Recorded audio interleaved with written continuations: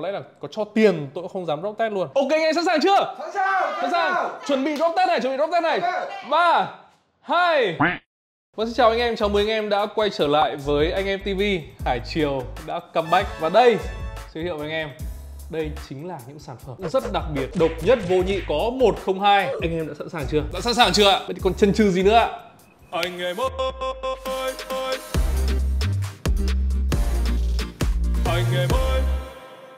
Trước khi đi vào chủ đề chính thì đây mình đang có một hộp, hai hộp, ba hộp iPhone đều đến từ thương hiệu GA.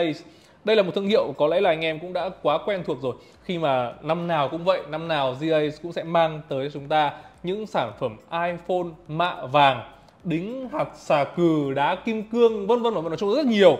Và tất nhiên là những sản phẩm này thì à, đều có mức giá rất cao và nó mang lại một cái giá trị gọi là là hàng hàng xa xỉ phẩm. Phải những ai mà có rất nhiều tiền họ mới họ mới mua cũng như là họ mới có thể sử dụng những cái máy này. Vậy thì rất là may mắn ngày hôm nay mình đang có ba cái mẫu máy này ở đây để có thể chia sẻ với anh em. Vậy đi. Mở hộp. Ôi rồi ôi anh em thấy không? Anh em thấy nó nó gọi là vãi nồi chưa? Chiếc iPhone Việt Nam phiên bản đặc biệt kỷ niệm 79 năm ngày Quốc Khánh. Trời ơi, dã man chưa? Đây đây đây. Chưa chưa vội nói về chiếc iPhone này chúng ta hãy để nó sang bên.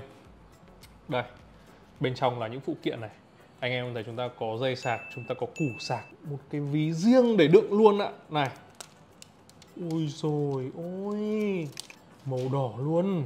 Đây. Trời ơi, cờ đỏ sao vàng tung bay phấp phới à vẫn có sticker này chứng tỏ là cái máy này này có vẻ là nó sẽ không phải là 16 Pro đâu có thể là nó sẽ là 15 hoặc là tại vì là năm nay iPhone 16 là anh em nhớ giúp mình là không có sticker nha. Ở đây chúng ta sẽ còn có thêm cả một cái đây, một cái thẻ chứng nhận chất lượng này, chứng nhận hàng thật này. 79 năm quốc khánh này, đây. Để mà nói kỹ hơn về chiếc máy này thì có lẽ chúng ta không cần phải đi quá sâu ở bên trong phần mềm làm cái gì cả. Chúng ta chỉ cần nhìn thiết kế thôi là chúng ta có thể thấy được cái sự khác biệt của nó so với lại những chiếc điện thoại bình thường rồi, đúng không ạ? À, bây giờ thì mình sẽ đi sâu vào những cái chi tiết ở phần thiết kế của chiếc máy này để anh em có thể nhìn rõ hơn nhé đầu tiên ở phần cụm camera nếu như mà anh em để ý anh em thấy rằng chúng ta sẽ có một con số đó chính là con số 79 à, con số này thì cũng sẽ là à, kỷ niệm vừa mới kỷ niệm 79 năm quốc khánh à, nước Cộng hòa xã hội chủ nghĩa Việt Nam luôn. Và đây cũng chính là cái tên của phiên bản này là VN79. Bên cạnh cái cụm camera này, đấy, nhìn gần hơn thì chúng ta sẽ thấy rằng là chúng ta sẽ có bản đồ của nước chúng ta. Đấy, bản đồ quốc gia. Và tất nhiên không thể thiếu đó chính là đây, quần đảo Trường Sa và quần đảo Hoàng Sa. Chủ quyền lãnh thổ cũng được thể hiện rất là rõ ràng ở phiên bản này và ở bên dưới này sẽ là họa tiết của chống đồng Đông Sơn đó anh em thấy không một cái biểu tượng văn hóa của nước chúng ta như vậy thì chúng ta phải thấy rằng là cái phiên bản này nó sẽ là cái sự kết hợp nó sẽ là cái sự giao thoa giữa văn hóa và chủ quyền lãnh thổ. Và đây là một điều mà mình thấy rằng vô cùng đáng quý và đáng tuyên dương. Tại vì không gì quý hơn lòng yêu nước cả, đúng không ạ? Và ở phía bên dưới này, chúng ta sẽ có cái phần mặt lưng được làm giống như là quốc kỳ Việt Nam. Đây, anh em thấy không? Cờ đỏ, sao vàng, tung bay phấp phới. Cái phần này nó được làm từ da nha. Đây, anh em nghe tiếng này. Da đấy. Đó và ở phía bên dưới này chúng ta sẽ có cái tên của phiên bản đó nha. Đó chính là Việt Nam hòn ngọc của thế giới ở phía bên cạnh này. Những cái phím như kiểu nút nguồn này hay là nút uh, tăng giảm âm lượng này. Đó cũng sẽ được làm thành màu đỏ nha. Đấy, nói chung là mình thấy nó vô cùng là chi tiết. Và theo như mình có à đây đây đây đây còn nữa còn nữa. Khung viền này khung viền. Đây mùng 2 tháng 9 năm 1945 được không ạ? Và mùng 2 tháng 9 năm 2024 nhưng mà thực sự là mình thấy hơi đáng tiếc một chút tại vì là đây lại là phiên bản iPhone 15 Pro. Nếu như mà nó, nó, nó gọi là lên 16 Pro đi thì thực sự là cái phiên bản này nó sẽ nó sẽ trendy và nó sẽ nó sẽ tuyệt vời hơn rất là nhiều. Cá nhân mình cũng đã trên tay rất nhiều những cái chiếc iPhone ví dụ iPhone carbon này xong rồi iPhone mạ vàng này 24k 18k cũng có này.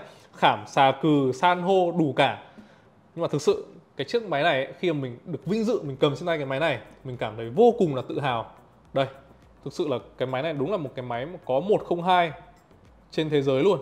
Năm sau nhá năm sau là 80 năm Quốc Khánh GA làm thêm một con nữa cho em. Được luôn.